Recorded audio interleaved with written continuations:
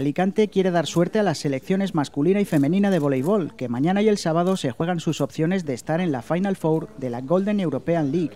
Hoy en la presentación de los partidos, tanto el alcalde Luis Barcala como la edil de deportes Marisa Gallo han deseado el éxito de ambos combinados. Eh, bueno, aunque haga falta que se den determinadas carambolas y dependeremos de Holanda principalmente, ¿no? de qué es lo que haga Holanda, hablo en masculino, pero bueno, hay que creer en las carambolas y tener fe eh, absoluta de que vamos a poder pasar a, ese, a esos playoffs. Igual que eh, con la femenina, pues que se pase a esa final europea.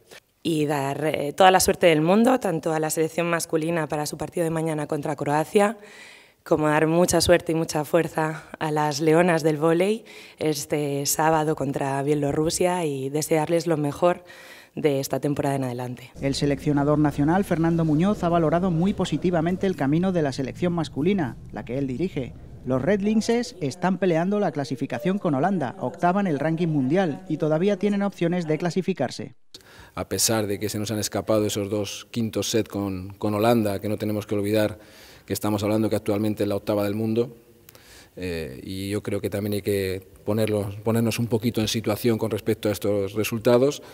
Eh, yo creo que la evaluación tiene que ser muy positiva. A partir de ahí, yo creo que la intención nuestra siempre es ganar, entonces iremos al partido de mañana para ganar el partido, jugar lo mejor posible y sabemos que tenemos que esperar el resultado de Holanda con Estonia para, para confirmar las posibilidades que tenemos de clasificar en la última jornada con Estonia el sábado. Un Fernando Muñoz que ya vivió el último paso del combinado nacional por Alicante.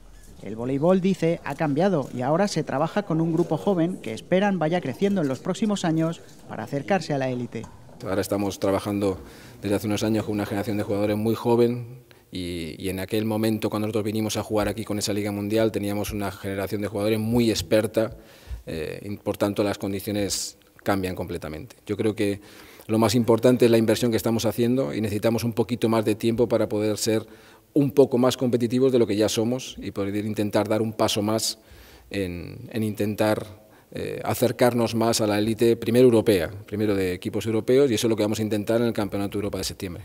Además, el sábado se celebrará una jornada de pequevoley para los más pequeños. El presidente de la Federación Autonómica, Arturo Ruiz, ha agradecido la colaboración de los clubes de la ciudad y del Campello.